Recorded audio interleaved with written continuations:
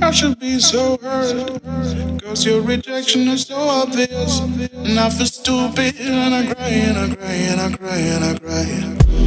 But I tell myself that will be okay.